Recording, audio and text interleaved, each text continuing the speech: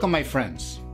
I'm here with a very representative wine from the magnificent Denominación de Origen Calificada Priorat in Catalonia, Spain. And this documentary, we will learn about the history, the people, and the viticultural and winemaking practices of one of the most recognized wine production areas in Europe.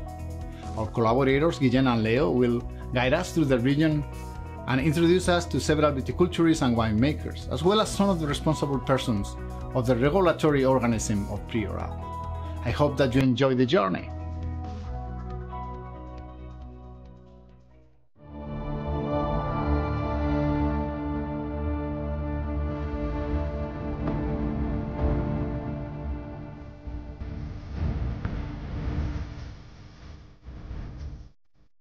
Let's take a quick look at the location of Priorat DOQ. It is found in Catalonia, in the northeast of Spain. The DOQ covers 11 municipalities of an extension of approximately 20,000 hectares, with 2,000 hectares covered by vines, producing close to 5 tons of grapes for approximately 14,000 hectoliters of wine per year. The area comprises the valleys of the rivers Siurana and Montsant, being almost entirely surrounded by mountain ranges.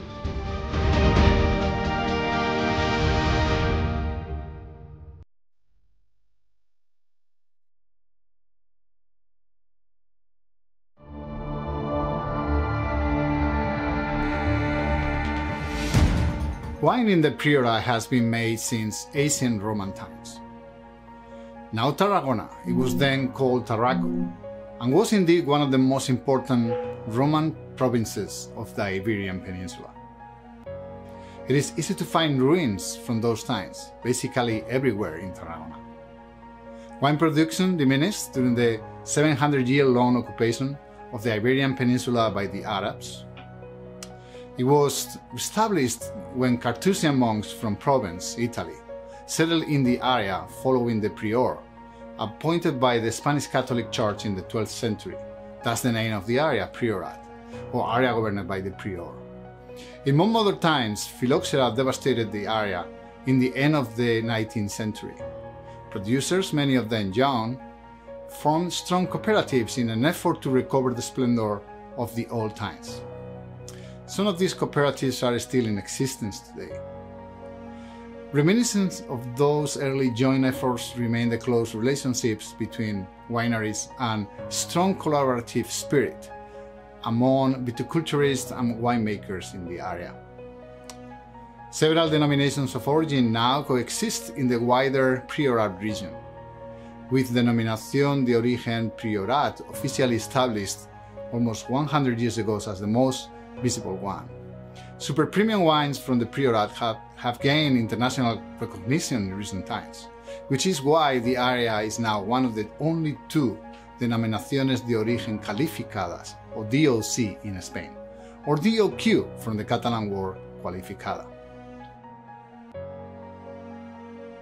The history goes that King Alphonse the Cast sent two knights to survey the country in order to find an ideal place for the Carthusian order to settle in Catalonia. When they arrived at the foothills of the Mont Sant, or Holy Mountain, they were struck by the beauty of the area and asked a shepherd about it. The shepherd told them about a supernatural occurrence that had happened in the middle of the valley a long time before. From the highest pine tree a ladder had appeared along which angels ascended to heaven. The knights told the king about the story and he offered the region to the order. The Carthusians, fully established in 1194, built an altar dedicated to Santa Maria where that tree was. The story gave name to the monastery the Cartusa de Scala or Monastery of the Ladder to God, and created an iconography strongly rooted to the region. The Carthusians of Scala Dei dressed in white wool and a hood that covered their seven heads. They planted vineyards and made wine in the monastery, adopting a life of work and spirituality. Priorat wine could well be a mystical wine. Today, the ruins of the Carthusian monastery provide a breath of mystery and attract many visitors.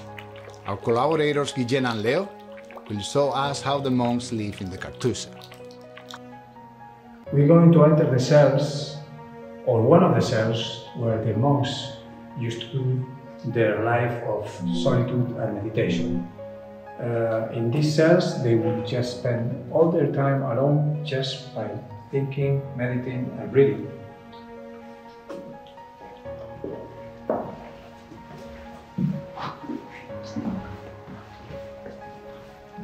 Here, they would be alone and they would spend only, uh, they would only meet with other people three times a day. Uh, they were only uh, allowed to have common uh, meals with the rest, with the remainder of the community, only for one time a week on Sundays in the common refectory. So otherwise, that would be the space that the monks would to habitate on their own. For example, here we have a place where they would dedicate themselves to the study, meditation, and also to the uh, prayers.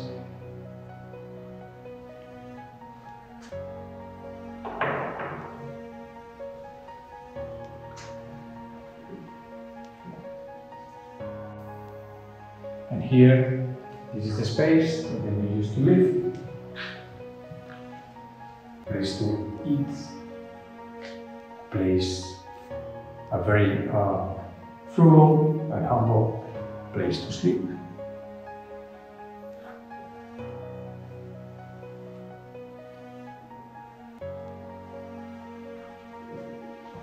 And of course, a chimney that they will use to warm themselves in the very cold winter days, which become quite rough here in this area.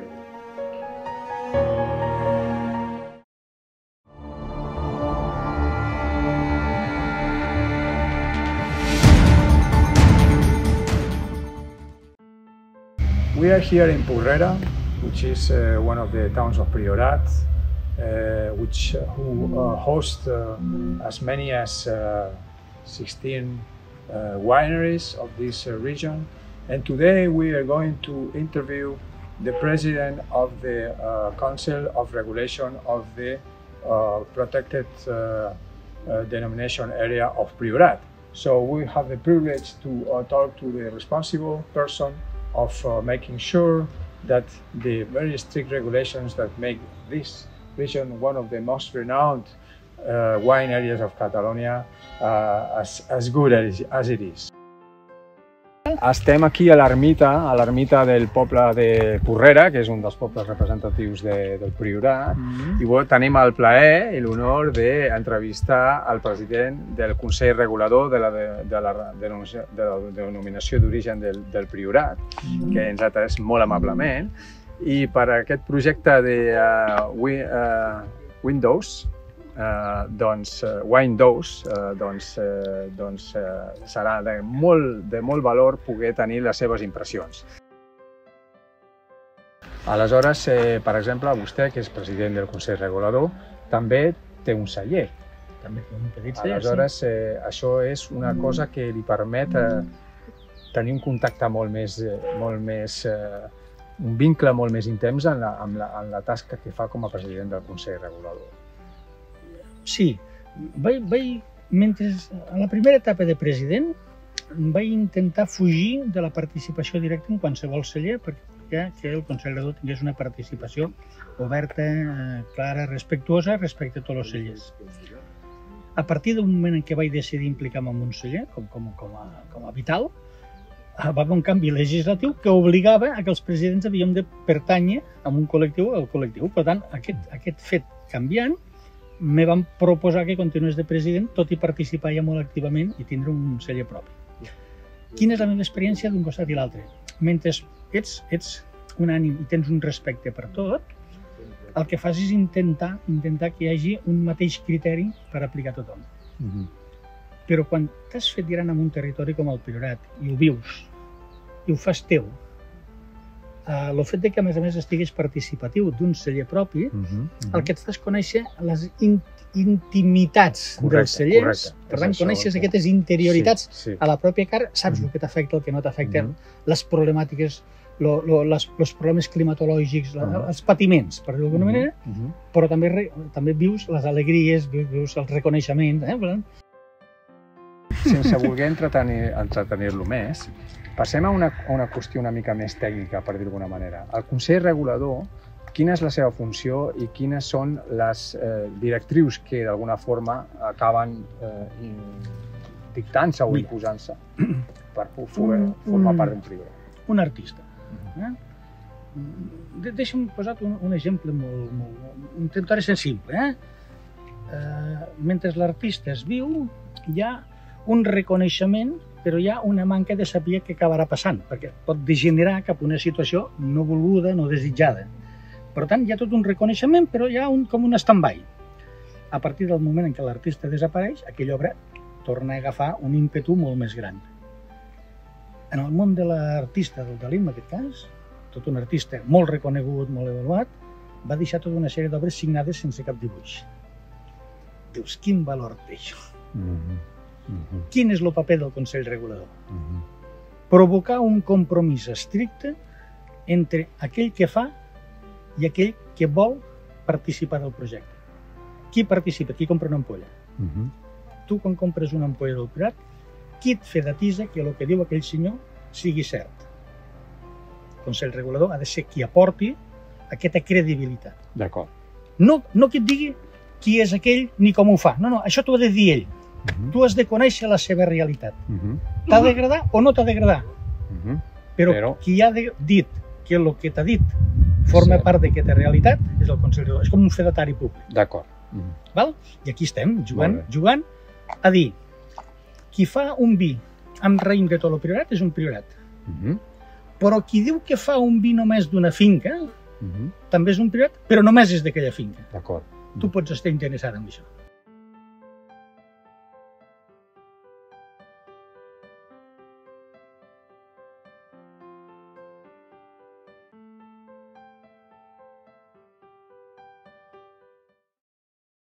Hello, good morning. So uh, here we here we are near Purrera, and uh, now we're going to discuss with the uh, agronom engineer and enologist of the uh, DO of Priorat.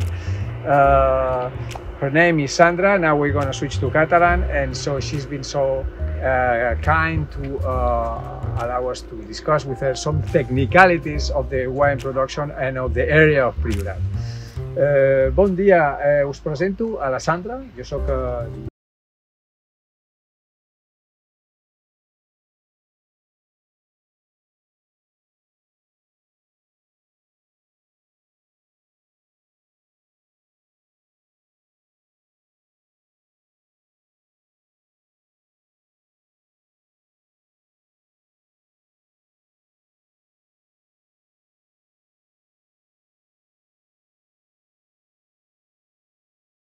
La nomenclatura és aquesta, qualificada. Eh, és un orgull perquè tenim uns trets que són característics que ens diferencien de la resta de denominacions d'origen de, de Catalunya. I així, en poques eh, paraules, quins serien els trets característics? Eh, Nosaltres marquem eh, el grau alcohòlic eh, probable mínim que han de tenir els vins per entrar, marquem les quantitats de quilos per hectàrea que han d'entrar, eh, assessorem i vigilem també i controlem el que és l'estat sanitari. Eh, hi ha diverses coses com, per exemple, que no es poden vendre vins a doll, és a dir, que no estiguin embotellats dintre, a fora de, de la denominació d'origen, no poden sortir, han de sortir amb el, amb el registre de la denominació d'origen i embotellats, i en vidre i en tap. Eh, hi ha moltíssimes de, de, que ens marquen, però bàsicament eh, són aquestes potser les, els trets més, més importants que tenim. I pel que fa a les varietats?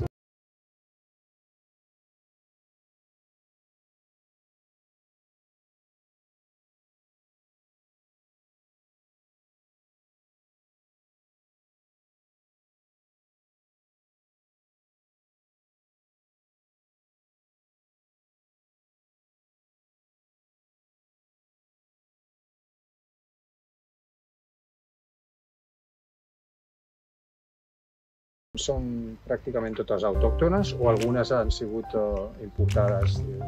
Algunes són forànies, Mhm. com podríem dir el Cabernet Sauvignon o la Syrah o el Merlot. El que passa que s'han adaptat molt bé, Mhm. s'han fet estudis i s'ha vist de que l'adaptació, i no tenen res a veure amb d'on són autòctones, s'han adaptat aquí a la nostra climatologia i l'o- l'orografia, el sol, etc.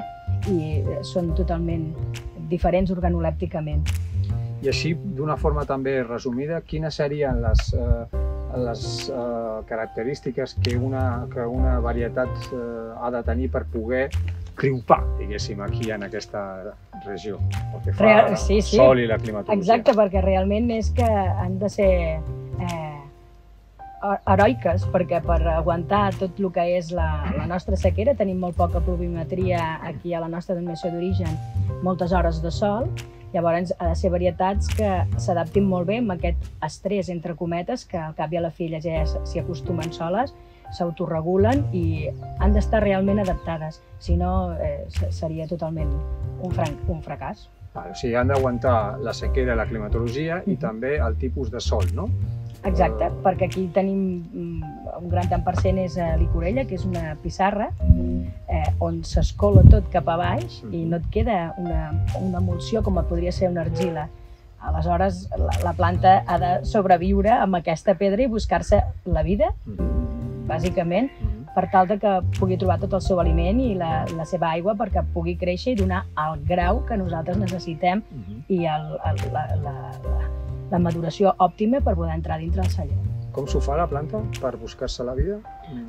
Realment aquí, en lloc de que les arrels siguin superficials i siguin en forma circular, les arrels eh, van baixant i poden arribar a 5 metres i 6 metres i se n'han trobat inclús de més. Mhm. Les vinyes aquí aguanten molt, s'adapten, aguanten, llavors, esclar, fan tota la, la seva xarxa pivotant de les arrels cap a baix, en sentit eh, vertical totalment. Llavors, eh, eh, ho poden arribar a trobar fins que, fins que ho troben. I, sí, és real i sobreviuen. La prova està amb les vinyes centenàries que tenim.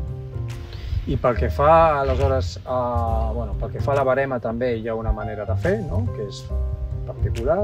Uh, Sí, és una mica complicada perquè si heu observat una mica el paisatge i sobretot des del lloc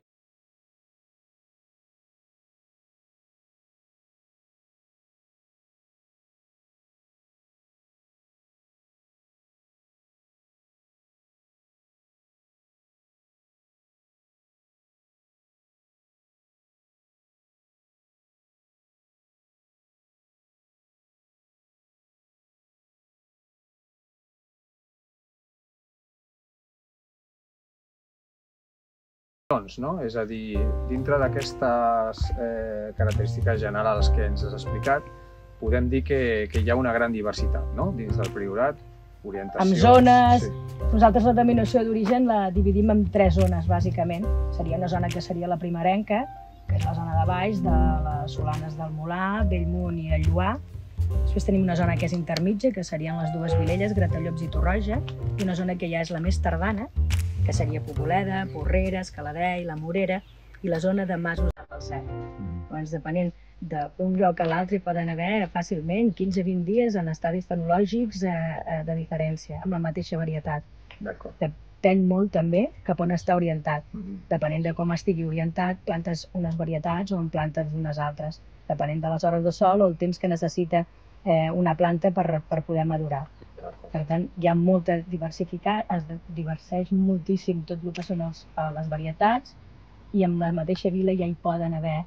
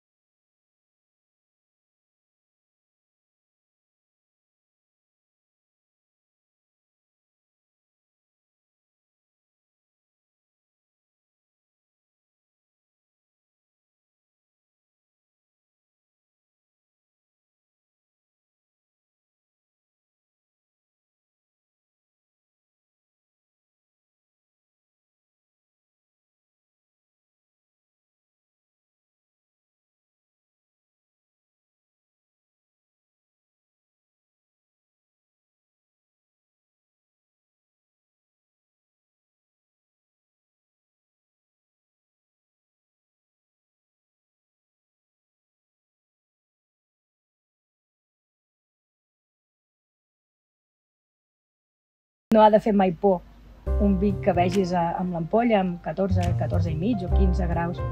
Si un vi està ben elaborat, té totes les seves condicions òptimes i és, el, el raïm, prové d'un raïm que estava d'una sanitat eh, excel·lent, eh, el vi ben elaborat no notes, no et crema, té un pas de boca suau, no és... Eh, no, no, no, no ha de fer mai por i és degut a la nostra climatologia. No, no hi podem fer més, no podem tenir vins eh, inferiors del qual. D'acord, d'acord. Eh, aleshores, eh, hi ha uns controls de qualitat que es fan no? abans de poder etiquetar un vi. Mhm. Eh, en què consisteixen aquests eh, controls? Eh, Els, eh, els, eh, per un vi de la denominació d'origen eh, ha de passar el control de, analític amb totes les anàlisis segons el plec de condicions, amb grau alcohòlic, acidesa, etc. I llavors passa el panell de tas, que tenim un panell de tas, i el panell de tas acredita si, si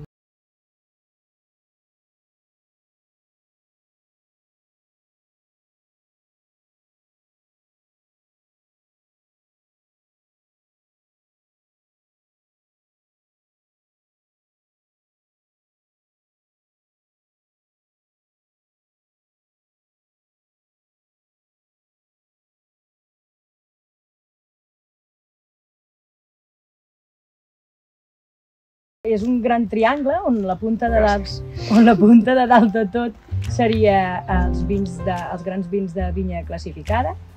Després vindrien els vins de vinya classificada, tindríem també els vins de, de paratges, els vins de vila, els vins genèrics i alhora també tindríem els, les velles vinyes, que són vinyes que són eh, d'abans del 45. Abans del 45. Sí. I a més a més tindríem els vins de viticultor, que serien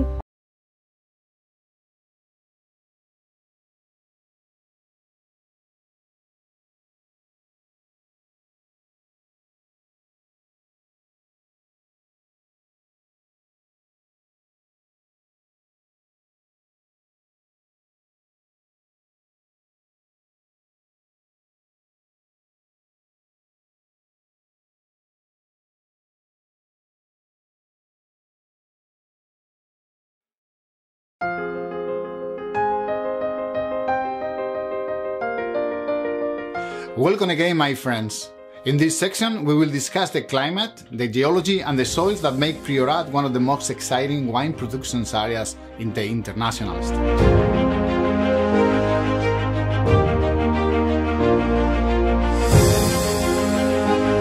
Priorat is one of the warmest and driest Spanish areas, with a clearly defined continental climate, with long sunny summers and rare rainfalls.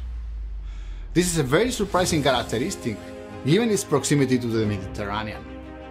Indeed, the border of Priorat closest to the ocean is only 13 kilometers away, while its further point is slightly over 30 kilometers away from the coastal line. The mountains forming the valleys of the rivers Sirana and Montsant screen the DOQ very effectively from the Mediterranean influence. In general terms, the climate is more extreme than most uh, continental areas. However, even though Priorat DOQ covers in a small area, there is a variety of different microclimates present. most importantly, there's a marked contrast between the valleys and the, and the higher areas, with sites at higher altitudes up to 700 meters, much colder than those at lower altitudes. The variety of aspects and slopes due to the dominance of the mountain ranges also contributes to the climatologic diversity. Freezing winds from the north, which are somehow mitigated by the Monsant, lead to risk of winter freeze and spring frost, while the warm mistral wind from the east helps to rise temperature in some areas. Perhaps the most important climatic characteristic is the elevated temperatures and lack of rain during the summer months, coinciding with the growth and maturation of the grapes. Indeed, some quality vineyards are planted in slopes facing north to avoid excessive heat from sunlight.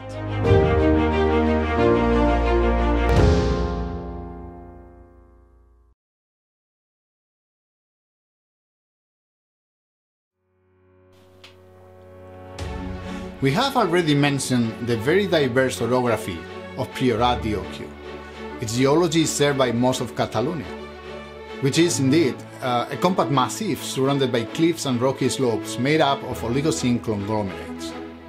This reaches its zenith of beauty in Priorat, with Monsant as one of the most representative mountains in the region. Hey, but let's hear from the president of the Regulatory Council talk about this.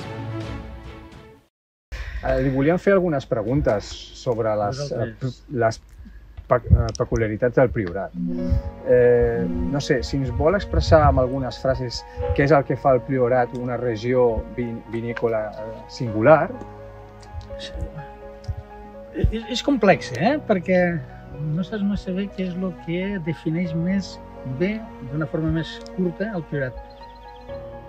Per mi, el que costa més d'explicar què és el Priorat són les pendents de les muntanyes. uh -huh. Quan tu veus una vinya, quan veus una vinya posada en una inclinació, Uh -huh. i has de- eh, d'explicar la singularitat d'aquesta inclinació, aquesta exposició i tal, és el que, és el que em marca més eh, dir, com més difícils són les coses, vol dir que tenen més sentit D'acord. És a dir, el territori. el territori.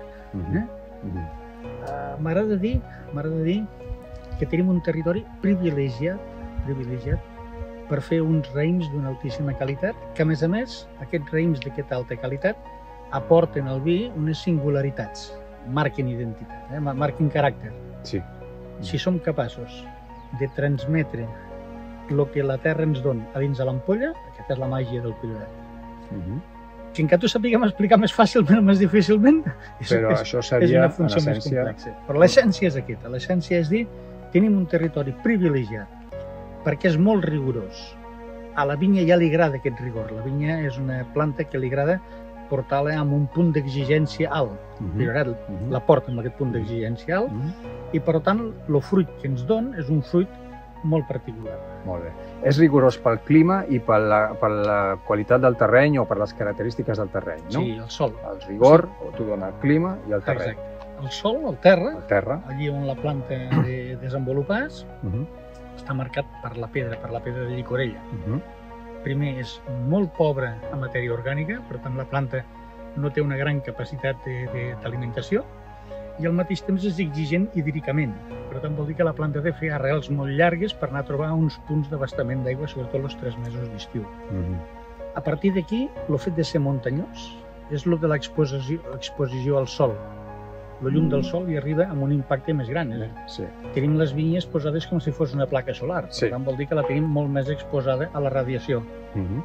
I el fet de que el terra sigui fosc, eh, sigui que de pedra negra, fa que, per una banda, Sí. absorbeixi Mhm.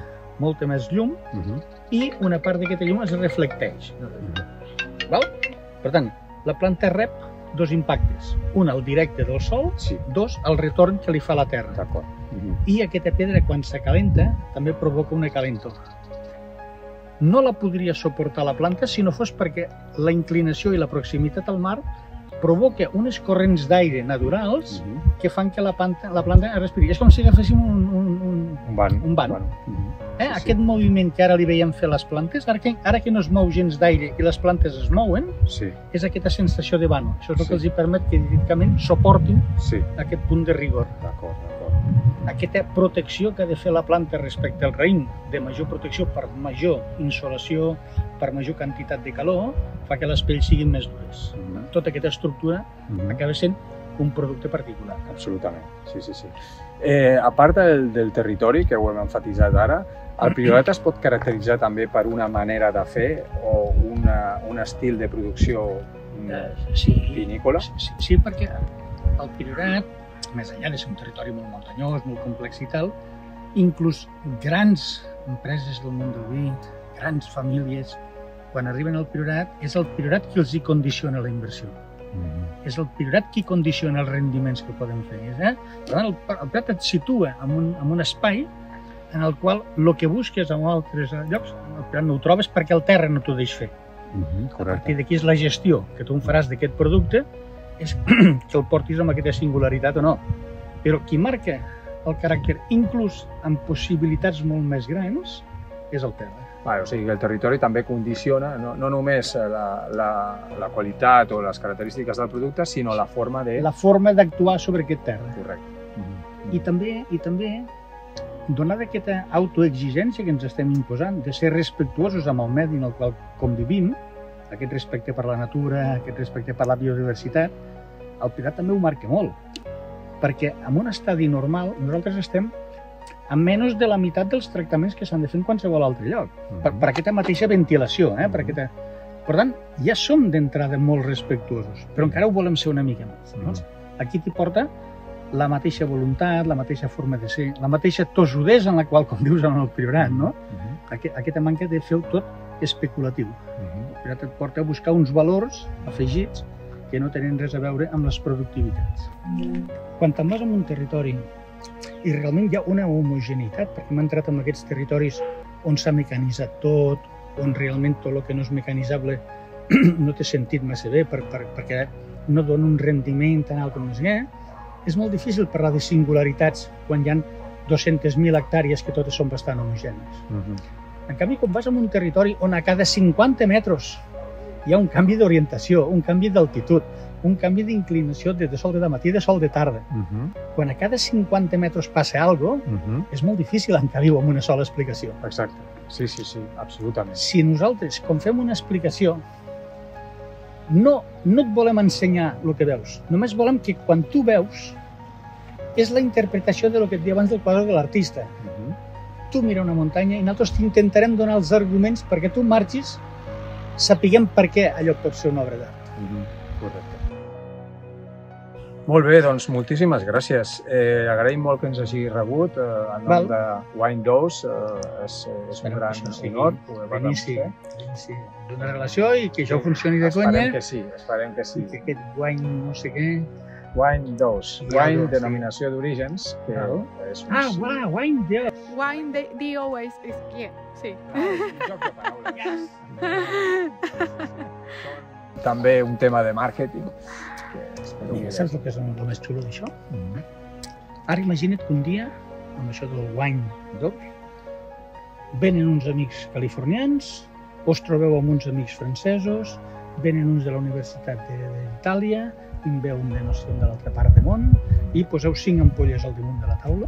El més bonic per mi és que seria que tapant les ampolles poguéssiu dir aquest és el francès, aquest és l'espanyol. M'explico? Sí, sí, absolutament. Els vins han de tenir una identitat. És amb aquest esperit que s'està intentant fer aquest projecte. Jo crec que Molt és d'aquesta manera que a veure si, si tira endavant i hi haurà èxit. Molt bé. Moltíssimes gràcies. Ha estat un gran plaer. Plaer per mi també. Gràcies, Leo.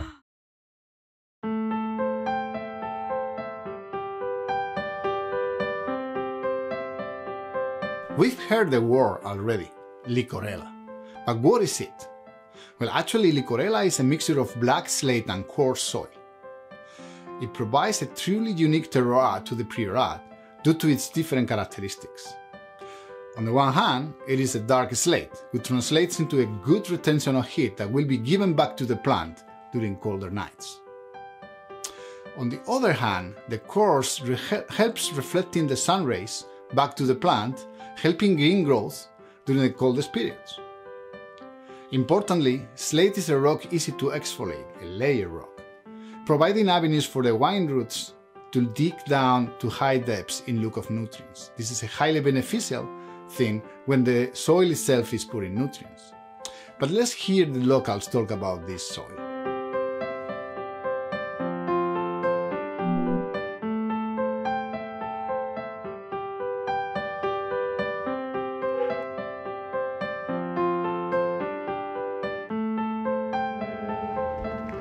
Tinc entès que això el que fa és drenar molt fàcilment l'aigua, no? Mm -hmm. I que obliga la vinya a anar-la a buscar molt més al fons. Sí. Però torno a dir, depèn com treballis la vinya. És a dir, el problema que tenim treballant amb herbicides o llaurant és que, bueno, llaurant encara, però és que, sobretot amb herbicides, que l'arrel la, la, sigui molt superficial i pateixi molt més el, els moments de, de calor. Vale? Quan tu no tens competència perquè no hi ha cap herba, l'arrel està dalt. Quan tu tens herba damunt, l'arrel ja no va dalt perquè té competència, així que busca cap baix. Uh -huh. I tot això és molt interessant veure, Uh -huh. perquè la, el que fas és, és posar-li una mica de competència superficialment, però la, la, el bo és que una herbeta no arribarà molt fons, però el cep sí que pot arribar molt fons. No? Uh -huh. I això s'acaba notant en com creix el raïm, en, la barema, en temps de barema i finalment Pressió, també... tot, sí, sí, sí.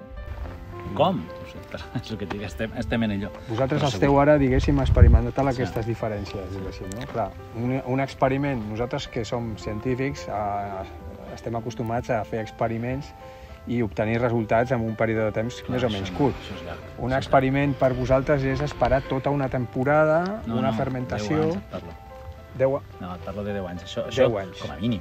Com a mínim 10 anys. 10 Això anys. són, són, són, pensa que, que, que és un canvi de, de... Vull dir, un cep no pots posar-li herba i, ai, mira, ja, ja tinc les arrels a baix, ja no les tinc dalt. No, tot això, el primer any patirà, patirà perquè està acostumada a tenir les arrels, bueno, acostumada a tenir les arrels dalt. Quan tu li fots competència, merda, s'ha de començar a créixer cap baix, però en aquell moment encara busca dalt, té les arrels aquí dalt, Sí. però li fa competència, i en aquell moment patirà, baixarà producció.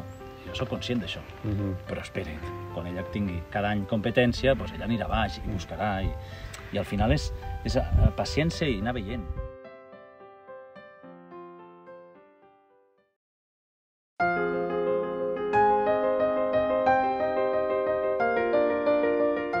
Here I am again. This time to discuss viticultural practices in Priorat de DOQ. So far we have seen how unique Priorat is, and there are several reasons for this. Of course, the extreme continental climate and the orography of the region stand as the most important aspects, determine the viticultural practices in the area. And we will discuss those in a moment. But there are also historic developments that have shaped how viticulture and winemaking is understood in Priorat. And this is perhaps one special characteristic of this area. In a region with a climate and terrain so challenging to cultivate, and with such difficult access to vineyards in steep slopes, together with migration of people into urban areas, there was a time when viticulture was almost abandoned in Priorat.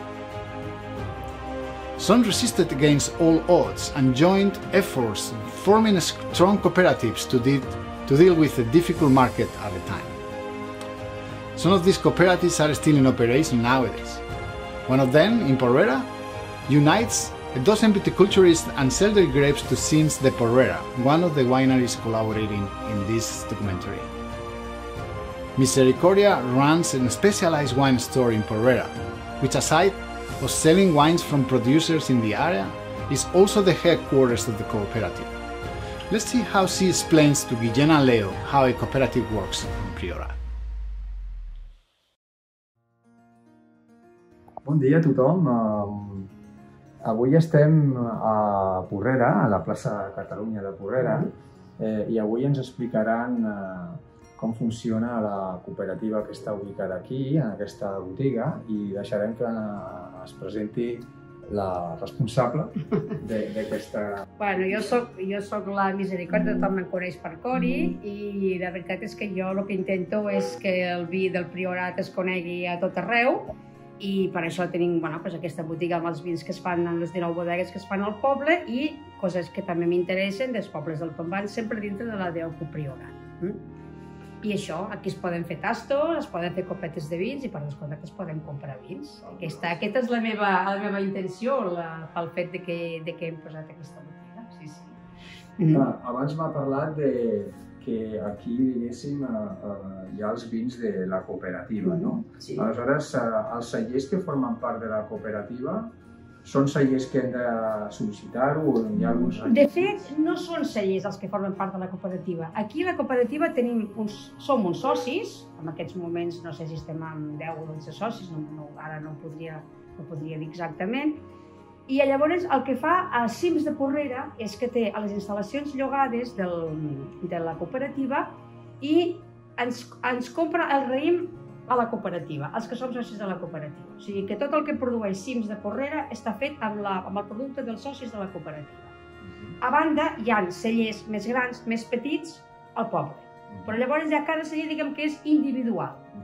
Hi ha persona que exclusivament se fa vi dels, del raïm que té de les seves finques i hi ha bodegues una mica més grans que fins i tot poden comprar raïm a altres, a altres pagesos i elaborar els seus vins.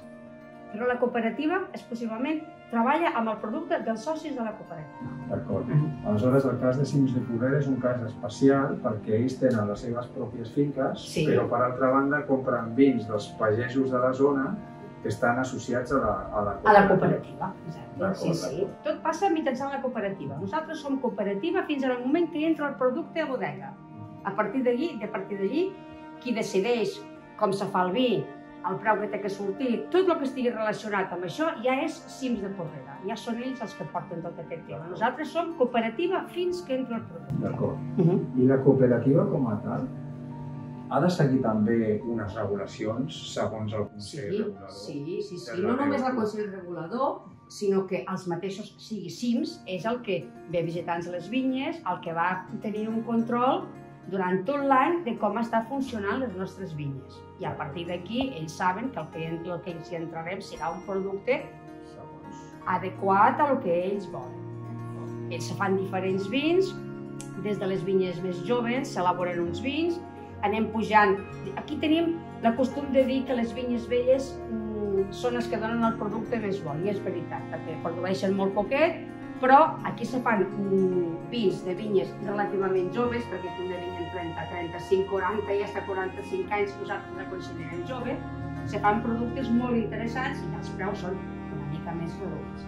Sempre tenint en compte que el priorat, mm, la, el cost de l'elaboració de, dels, de les vins aquí doncs és una miqueta superior a segons quin altre lloc. Aquí costa tot més eh? i la producció és més petita. La producció petita i la dificultat del I, terreny. exacte, hi ha una dificultat afegida, tot és manual per descomptat, eh, però tot això acaba representant que tenim uns caldos molt interessants. Eh, el fet de la- l'oreografia, que tenim les vinyes penjades, que passa a estar molt més ventilades, agafa sol a tot arreu millor, i això acaba donant un producte diferent a unes vinyes que estiguin, doncs, diguem, en, en llocs més plans. D'acord, d'acord.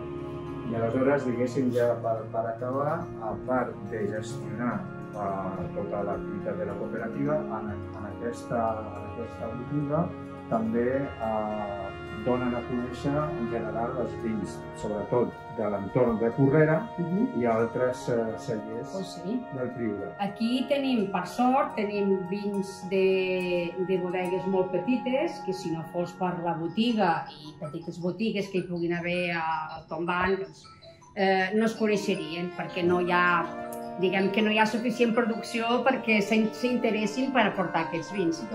Llavors aquí tenen la, la facilitat de poder-los tastar i, si els agrada, poder-los comprar. Fabulós. Doncs eh, moltíssimes gràcies pel temps que ens ha dedicat. A vosaltres, tot el que sigui fomentar priorat, per mi és perfecte. Fabulós. Moltíssimes gràcies, doncs. Gràcies a vosaltres.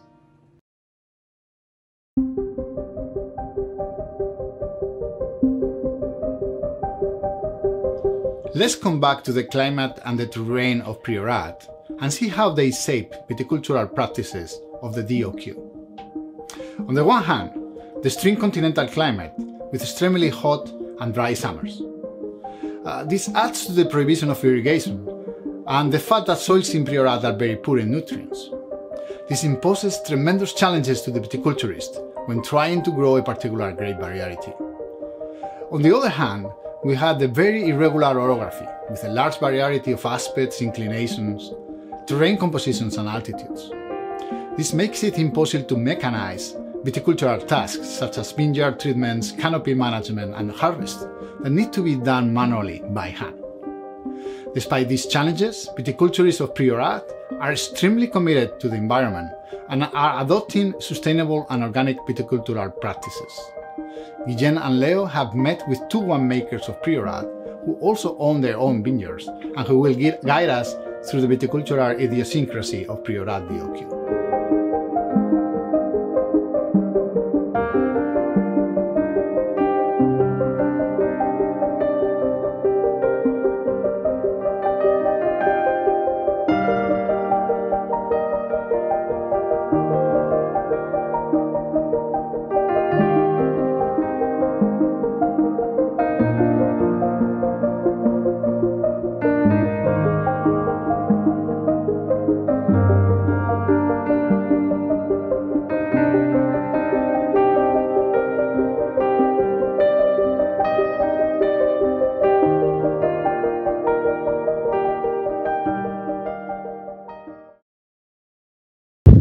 Hello, so we are here in a terroir mm, called uh, La Planeta.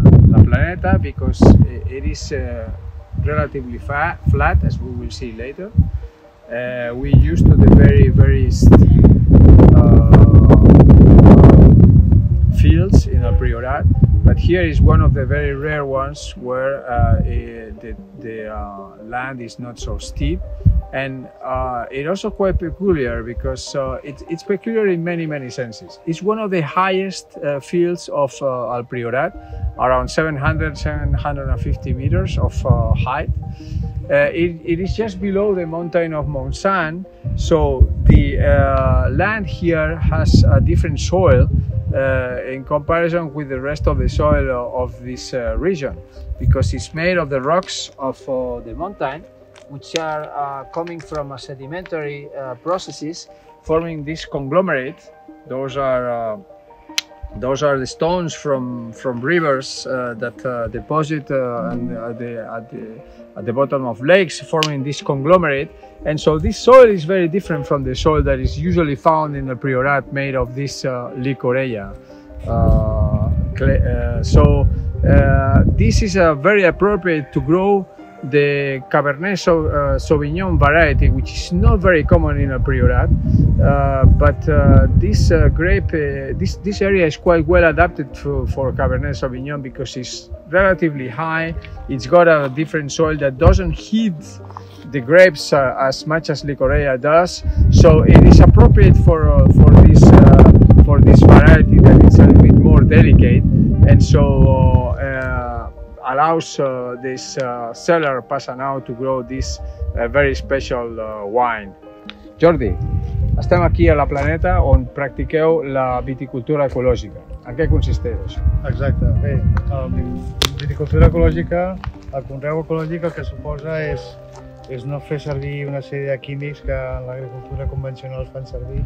Aquí només està permès en l'orgànic, que es diu ecològic, és fer servir sofre i coure pel tractament de, de les malalties de, de la vinya i és l'únic que es fa servir, és l'únic que es fa servir. I això ho combinem pues, amb, amb, amb deixar que creixi l'herba, que permet fer el seu propi ecosistema i els seus bitxets que ajuden a que la planta vagi bé, no? que creixi bé.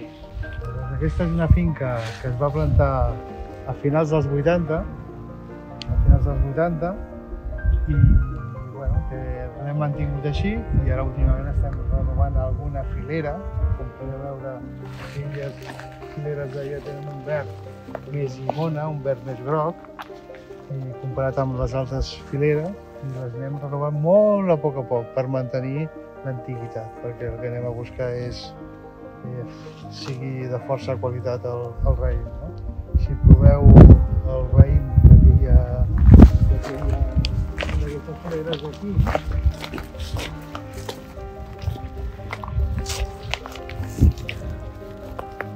que els hi faltaran com dues o tres setmanes per collir i proveu el raïm que hi ha aquí en aquesta vinya que són més velles, doncs trobareu una, una diferència important. Prova, sisplau. Obre, obre la, Una la, diferència de gust, no? obre-la i que es vegi. Perfecte, gràcies.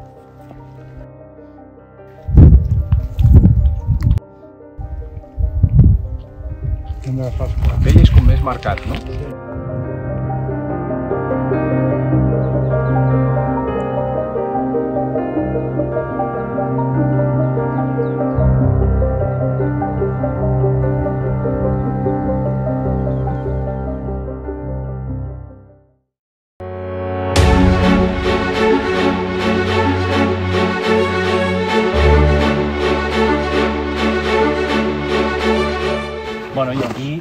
nosaltres vam començar l'any 96 amb el meu pare i els meus pares per, per treballar amb, la, amb, amb els viticultors perquè tot això es pagava en aquell moment a 30 cèntims. Ara estem pagant a 5 euros, cap problema, però abans es pagava a 30 cèntims. I el viticultor no podia viure. Tota la gent jove se'n anava, se'n anava a la ciutat a buscar feina, perquè això no donava. I el meu pare en aquell moment va dir, hòstia, canviem-ho, intentem pagar. I clar, el primer any, l'any 96, ja vam pagar un euro per quilo. I d'aquí a que estem ara. A poc a poc, poc, poc, poc, poc, poc, fins al que tenim ara. L'agricultor treballa un hort, es guanya quatre perres, que no es suporta, que és insostenible, i després el, el comercial és el que, l'intermig és el que es guanya els diners, perquè després tu vas a, a la d'això i pagues, no? I, i pagues un preu considerable, però s'ho guanya quasi tot l'intermediari. Sí. I aquí era com, hòstia, no, aquí el viticultor ha de guanyar diners. Perquè és qui realment s'ocupa de la vinya i, i ha de fer un bon producte. Si tu li pagues una merda, et farà una merda de raïm per sobreviure. I a part que no sobreviurà i ho abandonarà o vendrà o el que sigui. I el que hem de fer és pagar-ho bé perquè visqui aquí, visqui bé, pugui viure bé al poble i doni un bon producte. I aquesta era la idea. però és una mica, són els pioners, la, Sí, els sí. que van prendre aquesta iniciativa, perquè ara tenim, diguéssim, cellers arxiconeguts i el Priorat és molt, molt conegut i a tot el territori, eh, començant per Escalader, Clos Mogador, Álvaro Palacios, eh, Vall-llac, etc etc. però això ha sigut el resultat d'un procés que, repetim, podem, podem considerar que això... Tots tenen el se, la seva importància dins a la- a la- a l'aixecament del priorat. Tots. Els quatre closes quan van començar, Mhm. eh, posant el nivell, el llistó, com l'ermita quan va ficar el tema de la subhasta, Estats Units, etc. Tot això va ser, no? Són cosetes que han anat ajudant a que el Priorat tingui aquest nom i aquesta reputació Mhm. i que, els, i que hi hagi un nivell de vins molt alt. Sí, sí, sí, sí, sí, I correcte. no, no estem fent vins de 40, 50, 100, 200, 600 mil euros amb merda de raïm o merda de vi, ni molt menys, no? I tampoc no enganyem el, uh, no es pot enganyar així el, el, el client, no? I res, això és el treball. Vull dir, aquí, clar, treballen amb herbicida, aquí no surt gens d'herba. Sí que en surt una mica de tant en tant perquè només fan un tractament a l'any, però justament amb aquesta finca, a la part de baix de tot, aquella punta de baix de tot, Mhm. l'agafarem nosaltres experimental per treballar de la forma, com diem, natural per dir, eh? però ja Mhm. et dic, d'una forma on deixem l'herba que surti, la seguem, però anem treballant i anem abonant amb, amb orgànic. Bueno, és una forma de treballar diferent. Vale, o sigui, el, màxim que feu és abonar, treure una mica l'herba, però no llaurar ni... No toquem o el sigui, deixar... No toquem el terra perquè nosaltres el que sí que pretenem és que en, una, en un bosc eh, allà s'hi crea una naturalesa no? i es fa un ecosistema. Mhm. I aquí, tots els microorganismes que hi ha al sol, Mhm. aquí no n'hi ha quasi gens. Per què? Pues perquè o es llaura, que ho mates tot, perquè també ho mates, Mhm. o tires herbicida, que aquí no viu ni sa mare. Ni sa mare. Val. Si tu deixes que creïn, que surtin herbes, que tal, tot això, a part de que és un ecosistema i has d'agafar un equilibri. Tot això tarda, claríssim. No és l'any que ve deixo herba i ja tot està bé. No, menys.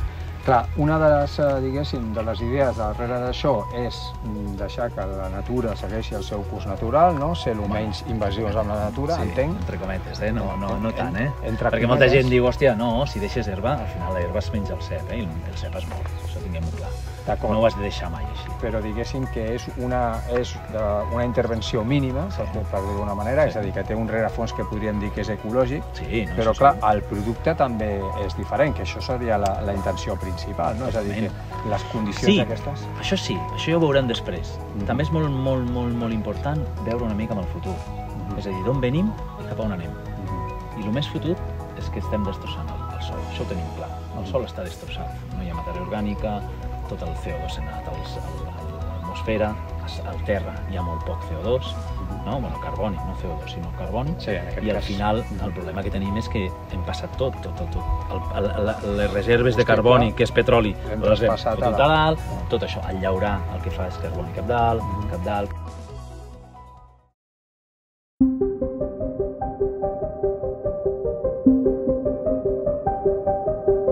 And finally, the grapes. Priorat is well known by its opulent wines from Garnacha and Cariñena, two grapes that find a perfect habitat in the climatologic conditions of the region. These are indeed the recommended varieties. However, several others are also allowed, some of which are responsible for extremely high quality wines. Among the reds, we have Cabernet Franc, Cabernet Sauvignon, Merlot, and Syrah. Some of these have adapted particularly well to the highest altitudes of the DOQ and developed a unique character in Priorat. We will be tasting a cab from the winery Pasanao, which is certainly delicious. Four white varieties are also allowed Macabeo, Pedro Jimenez, Chenin Blanca, and Garnacha Blanca. Priorat whites are delicate and rank among my personal favorites.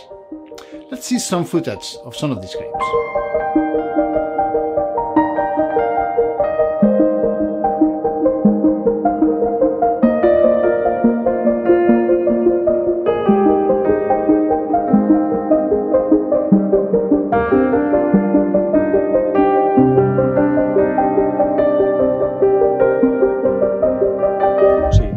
Tastes el vi, ai, el vi, perdona, el raïm, i arriba un moment que dius, "Els nois, la setmana que ve, bueno, dies o tres, d'aquí dos dies hauríem de recollir aquest raïm. el temps, tot, si plourà, si no, D'acord, les condicions si de... vindrà el calor, si no.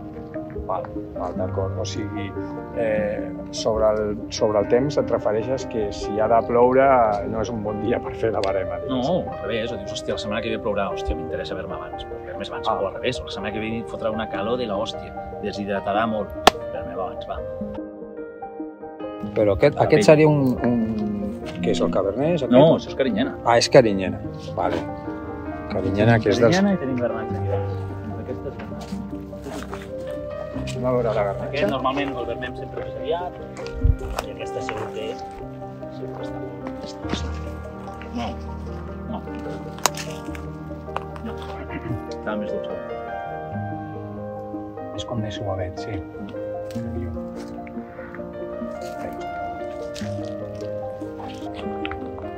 Mm. Jo el trobo ja molt dolç. Jo el baramaria.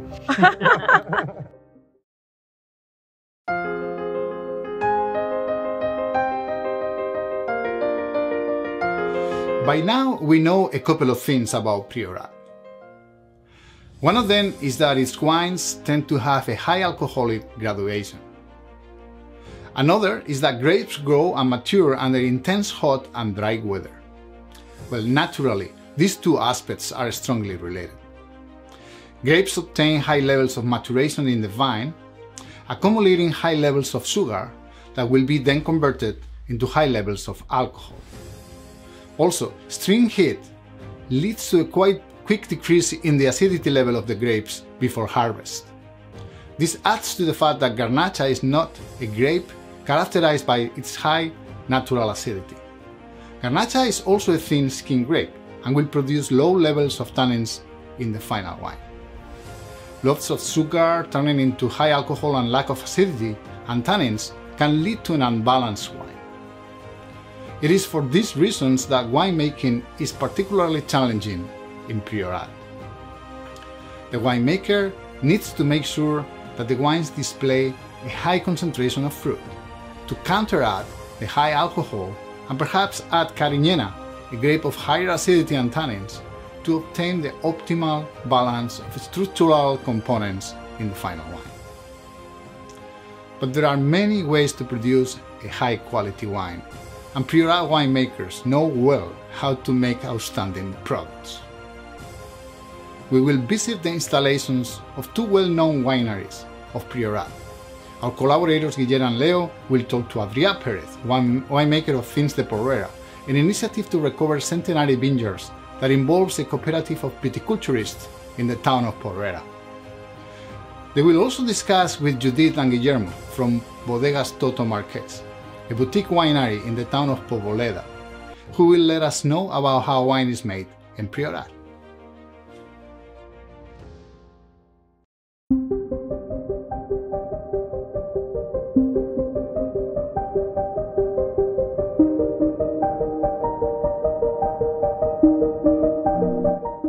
Seleccionem tots els raïms. Tots passen per la cinta perquè, eh, perquè nosaltres el que volem és que aquí entri algo de?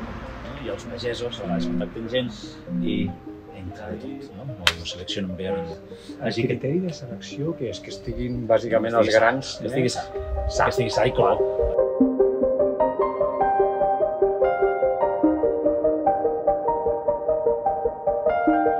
Va des de 6 dies de maceració, els blancs. N'hi ha alguns que maceren i alguns que no, i eh, les vinyes velles que a vegades estan doncs, fins a 30 dies, depèn. Vale. Tot això és on fem la vinificació. A partir de llavors, les tines petites són pels grans vins, les tines grans són pels petits, entre cometes. No? Sí. Més volum, Sí, no? sí, Menys volum, sí. això és sempre. Durant el procés de, de fermentació eh, feu algun, algun mesclat, diguéssim? Sí, els, eh, per exemple, amb aquells vins, vins de, de gamma baixa, podríem dir, fem un remuntatge, Mhm. vale? que traiem el vi i el tirem per damunt en bomba, Mhm. però els altres ja no. Els altres els fem, no et diria pijàs, perquè no el fem, ara últimament no estem fent pijàs, que és el bazuqueo, clàssic, ara ja no el fem. Ja fem un, amb aquestes dues tines, la d'allà i la d'aquí, fem una cosa que és diferent, que és infusió, i el que fem és, és Tirar-ho cap a aguantar. baix? No, tirar-ho no, és a dir, el que fem és estàtic, és a dir, tenim un filtre, nosaltres entrem el raïm per, per aquí baix, per la part de baix, per la, per l'aixeta aquesta d'aquí baix o aquesta, i aquí tenim un filtre, aquí. Vale? Què fa això? Diu, El raïm es comença a omplir, seguim omplint, què passa? Que aquí no passa el gra de raïm, aquí només passa el líquid. Vale? I el que fem és infusionar. Ja no hem de fer ni bazuqueo ni remuntatge, sinó que la pell està submergida dins el? Això és el tema d'infusió que diem nosaltres i després els altres són convencionals. És a dir, depèn quin vi volem fer una mica de, de, de pijàs o, o no ho fem, ho fem una regadeta per damunt i ja està. Intentem no tocar massa la pell perquè no volem extreure massa. Vale, vale, vale. I això ja depèn l'any, depèn el vi, depèn tot. Depèn l'anyada nostra, com estiguem, com ens sentim i com... Sí, sí, sí. sí. No sé. Aleshores, vosaltres quan decidiu que acaba la fermentació anar provant o teniu... Ah, nosaltres estem provant cada dos per tres per veure la, sobretot el premsat. El contacte amb la pell és molt important. Si passes, després, clar, això depèn de cada gust i depèn de, d'això, es pots estar, ja et deia, 4 dies com a 30 dies, 15, 10, 60, hi ha gent que està mesos, això és, depèn de la forma de, de vinificar. Doncs un cop ja creieu que és el que us agrada, Prensem, tenim una premsa aquí, prensem i, i després ja ho declinem cap a una banda o una altra, és a dir, tenim, fem criances amb ciment, criances amb inox, criances amb barrica i criances amb damajuana. Si ho prenses, ho deixes dalt i acaba amb una altra tina, acaba de fermentar. Una de ciment, acaba de fermentar. Quan acaba de fermentar, doncs deixes uns dies, fas un trasbals, treus els baixos, les mares més, més, més denses, i tot l'altre després ho pots baixar. Ja et dic, o la barrica, tenim diferents barriques, diferents toneries, diferents eh, grandàries, tenim de, de 350 a 600 vale, litres. sí. Ho deixem amb la tina de, ai, amb barrica de ciment o ho deixem amb les damajuanes, que són vidre. És a dir, aquí no hi ha interferència de, de sabors. Vale? Mm -hmm. I aquí fem el, la criança i fem una criança. Quant de temps? Doncs un any, sis mesos, depèn del vi, depèn, depèn del gust. Anem provant anem veient. Tot va... Intentem sempre diversificar i perquè és, és molt interessant veure eh, la- la- l'evolució amb ciment, l'evolució amb la barrica, l'evolució amb això.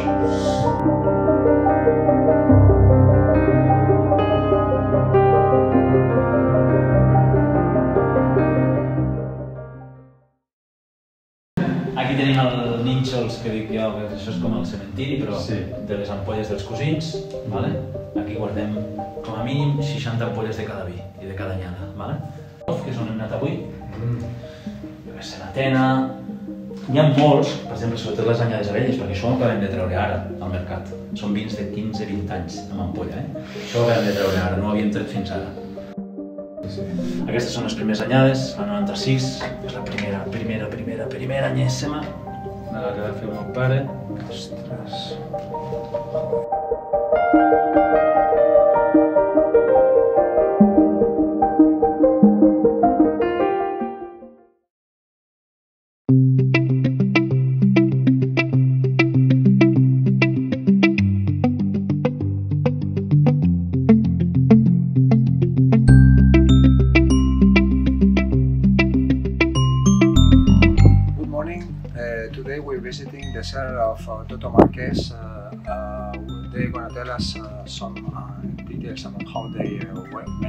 wines and how they harvest or they cultivate the, the. So uh, please uh, join me. It's uh, very exciting.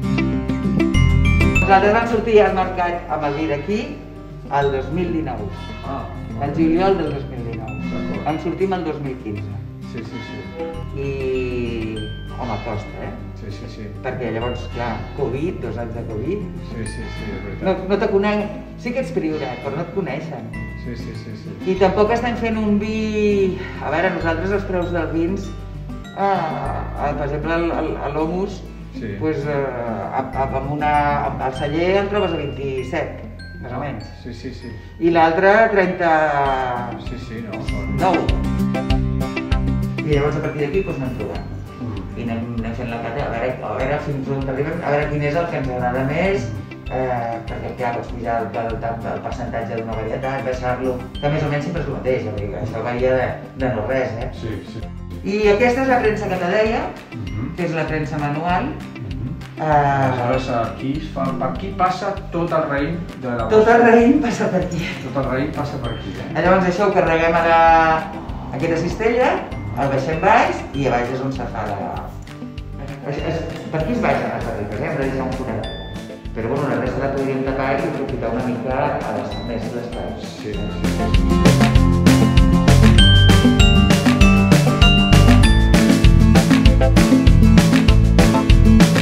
Vam escollir Priorat perquè malgrat que estem molt a prop, les qualitats del vi, el fet que hi hagi una denominació d'origen qualificada, que ens doni ja un renom de principi que ens emputxa a agafar un projecte amb cara i amb, un bon producte. Però clar, sí. això vol dir més esforç, no? Perquè el priorat vol dir una sèrie d'exigències, no? De l'EOQ... Sí, sí, sí, un seguiment molt, molt exhaustiu, sempre tens des de les varietats que pots posar al camp fins a el, els graus alcohòlics que pugui tenir l'ampolla o l'acidesa, de- bueno, i no pots treure res del primer que no estigui etiquetat embotellat, no pots fer...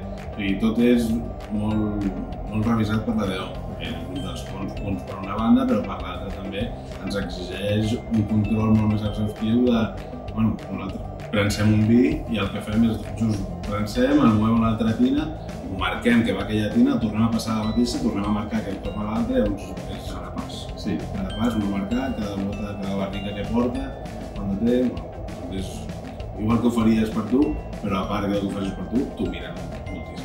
Nosaltres el que fem servir són uns llevats que fan que es cremin tots els sucres, tant de la fermentació com la Amargo, es crema tots els sucres per no deixar cap sucre residual que no pugui fermentar després i, i, i ja que tenim aquest una mica alt de sucre, doncs aprofitar-lo i convertir-lo en alcohol sí. o sigui, que... dintre que sigui estructurat, perquè ja això ho anem compensant a l'hora de collir doncs, si l'acidesa eh, l'acidesa va, pujar, va baixant i l'alcohol va pujant. O sigui, llavors hi ha un punt d'equilibri, nosaltres collim més o menys entre 5 i mig d'acidesa a 6 i d'alcohol doncs, estem entre 14 i mig, 15 i mig, una coseta molt així. Llavors, en quant a cos, eh, el fet dels canvis de temperatura de la nit i el dia fa que el raïm es protegeixi molt. Llavors el que fa és crear una pell més gruixuda, que després ens aporta molts aromes, aporta més tanins, que clar, també ho fem a l'hora de les fermentacions, nosaltres remuntem al matí i a la nit, quan entres al raïm, fins que baix, llavors va baixant la densitat. Sí, això durant tot el temps que dura la Sí, sí, tota la fermentació és al matí no? ho mous, ho deixes que es pari, tornen a pujar les pells cap a dalt, a separar es queda el barret, elevada i així va baixant d'acidesa fins que arriba a uns 1.020, alguna així d'acidesa, aigua de densitat, sí. i en aquest moment ja només ho fem una vegada al dia, per no moure'l tant i que no s'oxidi. Amb això el que aconseguim és que al final separem molt tot el que són tanins de la pell i, i a l'hora de prensar ens queda una pasta molt seca. No? Li, li traiem tot el que podem. Aleshores, eh, en aquest procés has dit que tens un temps de barrica que són doncs, Sí, fem 12, tot, fem 12 mesos de barriques de com a màxim 4 a 5 anys en rotació. És a dir, si 25% seran noves, el 25% tindran un any, el 25% tindran dos anys, el 25% tindran 4, de 3 o 4. És que s'ho combinen. La, la major qualitat, eh, quantitat és garnatxa i carinyena. Sí, sí, d'aquests dos, sempre fem una miqueta més de fusta en aquests dos i nosaltres potser no ens ho van a un ciramo no varietal, en aquest també sempre és una barrica de només de cola. Ah, sí, sí, sí, perquè només fem una barrica de 500 litres, que són unes 610 ampolles, i llavors en aquest sentit no fem una barrica nova. D'acord. Sí.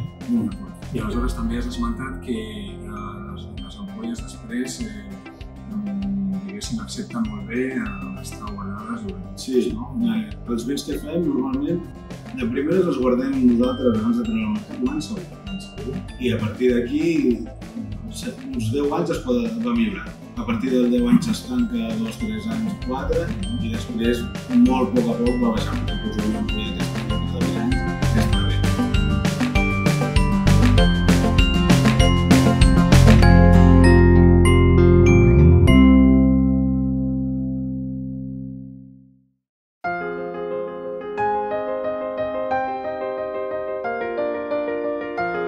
unique characteristics of Priorat also provide its wines with unique characteristics that should be noticeable when drunk, whether a red or white.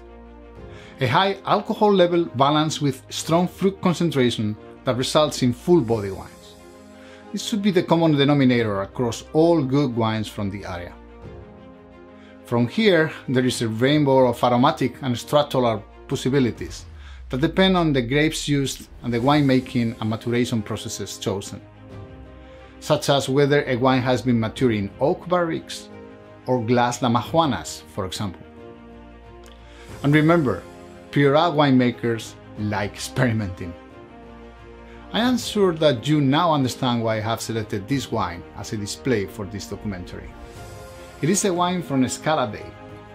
Remember, the ladder to God. I guess that I should open and try it. Let's go.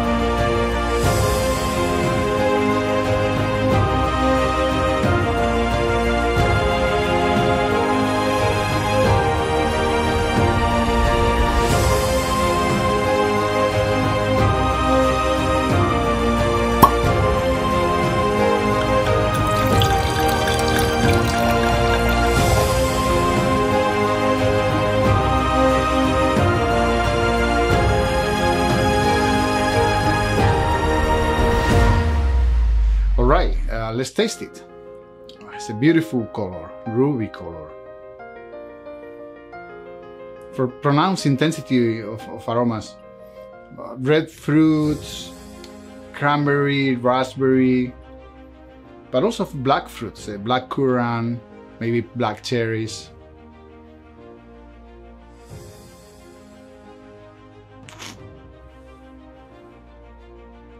It's a dry wine of a fruity style. Very good acidity. Uh, most likely a mixture of garnacha and Carignana because of the of the different kind of fruit flavors that you can get. It's full body, high alcohol,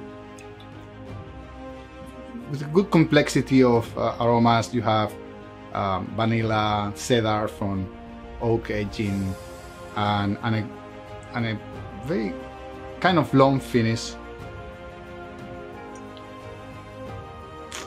Hmm. The fruit is very well integrated with all the secondary aromas. Still not a lot of tertiary, still some time to age. This this wine can age for for a number of years. I'm convinced that the best way to taste the wine is to be in the area in where it was produced. Guillén and Leo have had the opportunity to taste some incredible wines from Celer, Pasanao, and Bodegas Toto markets. Let's see what do they have for us.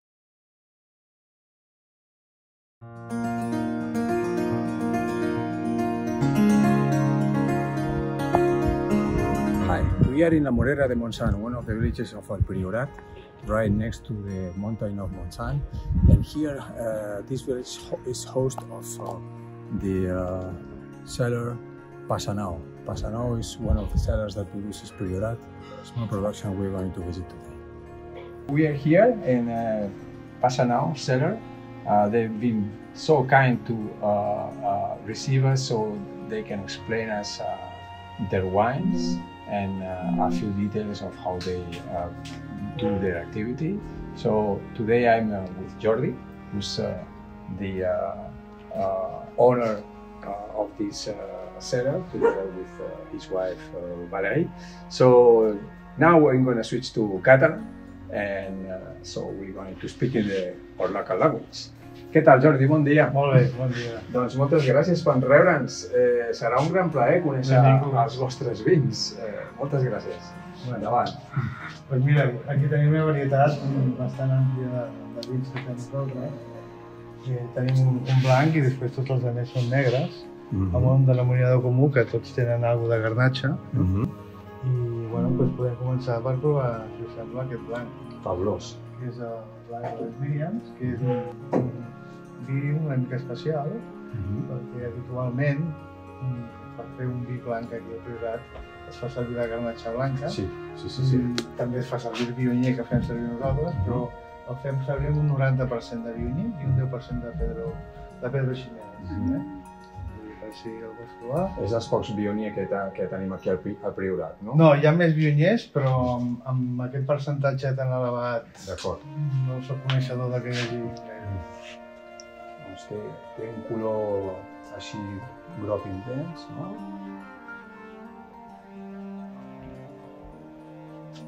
Uns aromes molt, molt gratificants, molt fresc.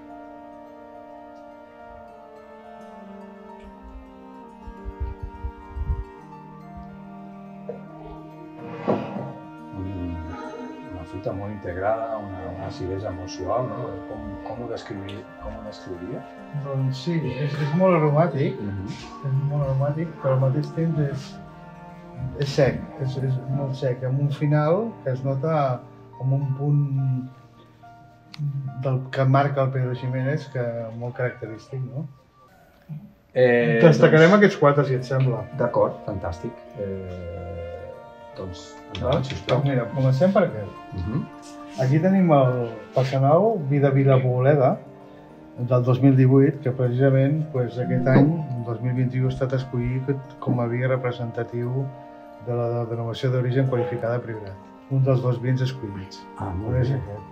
Eh? Molt bé, molt és un vi pues, característic, amb la seva garnatxa, amb la seva carinyena, i que està força bé.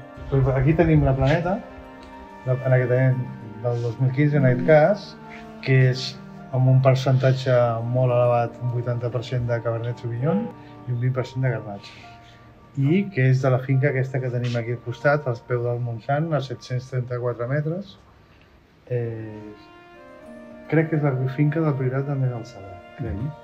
I, I és bo, és bo pel tipus, per la varietat de raïm que fem servir, que és Cabernet Sauvignon, que és, li va molt bé, li va molt bé el clima d'aquí, el, el clima que tenim aquí dalt, i que és una zona molt, una finca molt airejada, i que està, té com a sols, eh, bueno, el, el que queda de quan es desfà la muntanya del Montsant, té pedres i conglomerat, vull dir, es fa amb aquest tipus de, de, de sol no? que tenim característic aquí.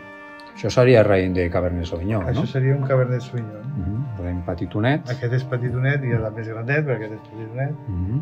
I és, és un vi, és un raïm així com més, més, més aclarit, no? És més aclarit. La garnatxa és molt més atapeïda. D'acord, sí, sí, sí, sí, sí. Aquest és, en aquest cas, el 2015, aquest vi està 34 mesos en bota. Déu-n'hi-do. Tampoc no és normal que el tinguem tant temps, però en aquest any sí que ho ha estat, 34 mesos en bota. D'acord. I bueno, jo crec que estaria bé que el provessis. Segurament eh, s'ha de notar d'alguna manera, també. Mm. Gràcies. és una varietat eh, el Cabernet Sauvignon que el Ricard Passanau, el meu tio, pues, va potenciar aquí, va intentar potenciar-la i bueno, la va introduir. No és de les varietats autòctones, però és un vi que també certifica per la DOQ i és força bo. O és sigui és que bastant fa- curiós, és un vi diferent, Mhm. es fa servir Cabernet Sauvignon en altres cellers que per aquí fan servir alguna Cabernet Sauvignon, però tenim l'avantatge de que tenim terra aquí diferent. D'acord. Això amb llicorella no funcionaria gaire bé, D'acord. perquè irradia el sol, eh, irradia amb La la, calor. pedra, amb molta calor amb la pedra aquesta, amb la llicorella, i això no va massa bé fruit. aquesta varietat.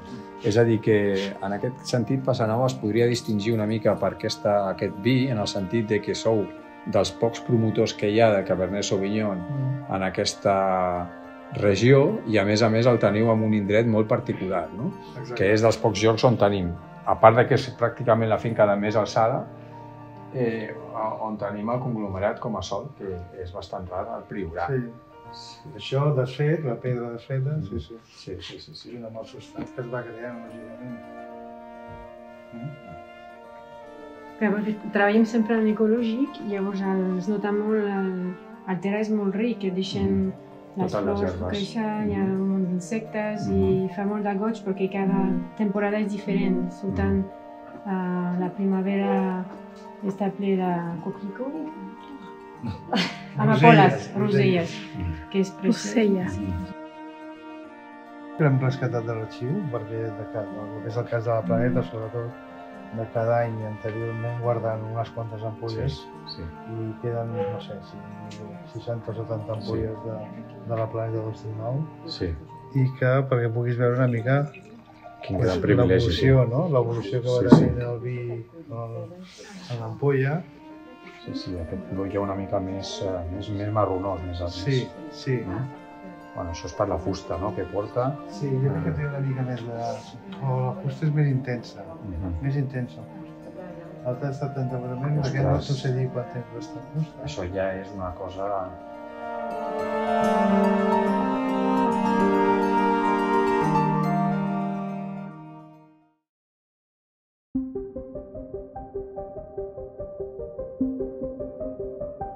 Good evening. So here we are at the store of uh, the winery of Toto Marques. Uh, this is a very peculiar store because uh, this is a place where we can try the wines, but also, as we will see later, is a motorbike store.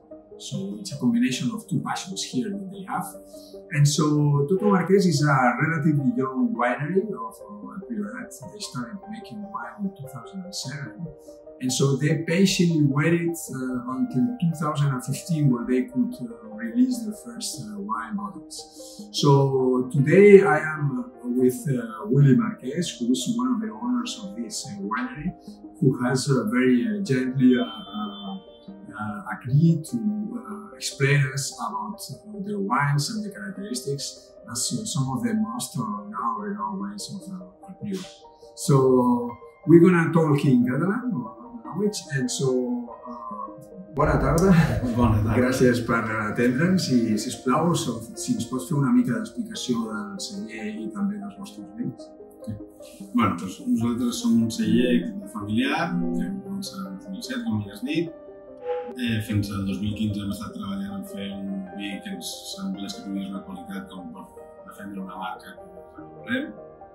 Llavors ens hem aprofitat que estem molt a prop de la zona de Priorat i vam començar allà.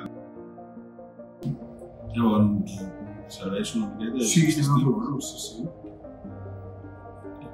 Comencem amb llomos, que Sí. sí.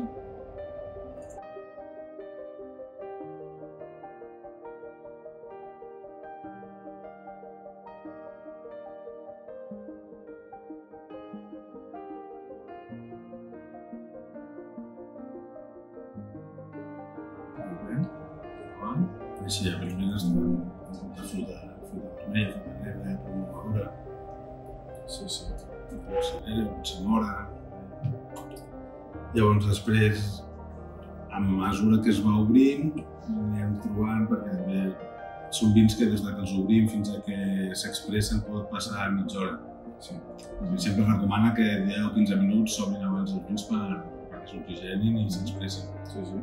Però, bueno, llavors van apareixent notes una miqueta més de com fonoll, però són notes que van apareixent més poc a poc. Sí. Algú de regalesa, potser? Sí, una mica de regalesa. Sí. A provar-ho, doncs. Què et sembla, Leo? Està bo?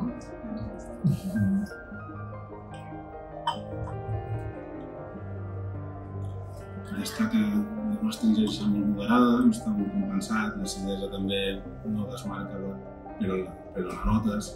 Sí, sí, sí. I té molta persistència. Eh? Té molta persistència, és molt llarg. Sí, sí. És, és per acompanyar amb uns arrossos, amb les carns, això seria ideal. Sí, sí. I després, bueno, sempre pots tenir com cosetes. Eh, si vols dir-me tu a veure què li trobes de, Bueno, jo el que m'està impressionant força és aquesta persistència i que van sortint, van sortint cosetes, no? Com així especials, no? Com si fos uh, algunes espècies més... Sí, com clau. Sí, sí, sí. Et recorda mi potser a però no és pebre, però et recorda aquest punt de aquí. És, és això que volia dir. Sí. Podríem tirar cap una miqueta de wasabi si, si ens hi posem molt fins. No, no, i això, a mesura que va passant el temps, doncs va sortint aquesta cada cop més, aquesta espècie cada cop més... I això és una, una peculiaritat que tenim de la finca.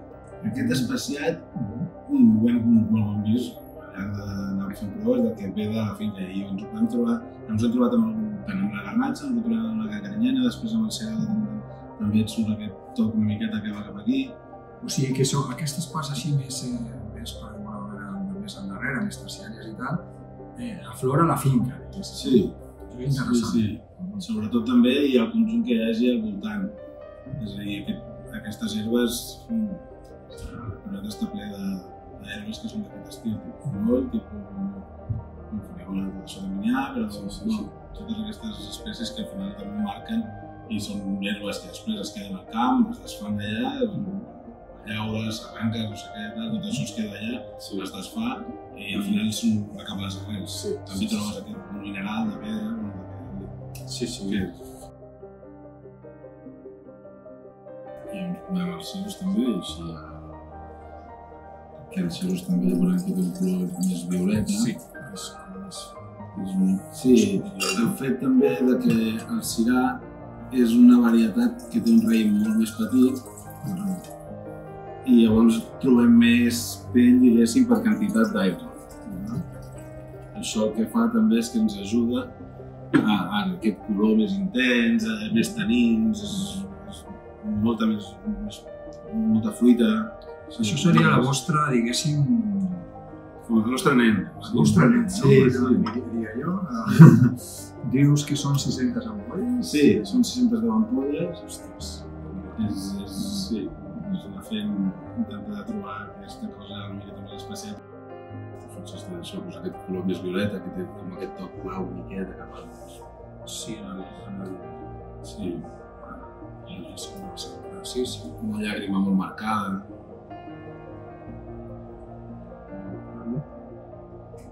Aquest, clar, també els hi costa obrir-se. Però és superaromat. És molt... És molt madura. Una tonalitat molt diferent de fruita, no sé si de fil, fins i tot. Sí, fila, després també et podries trobar un punt com a cacau, i és un dels vins que... Això és... és famós. Sí, sí. Aquest encara no el coneixíem. I notes acidesa, aquest és un 2016. Té una mica d'acidesa i... Però alhora està... jo trobo l'acidesa molt, molt compensada, mm-hmm. però alhora les notes encara que saps que és un vi que això podria aguantar moltíssim temps. We have learned about one of the most exciting wine production areas in the world. Priorat DOQ is truly unique. Its landscapes captivating, its people special, and its wines certainly unique. I hope that you have enjoyed the journey. And remember, these documentaries require the collaboration of those from the production area. If you love wine and live in a denomination of origin and want to emulate what our collaborators Guillén and Leo have done in Priorat, don't hesitate. Contact us and let's prepare a new documentary together. Cheers.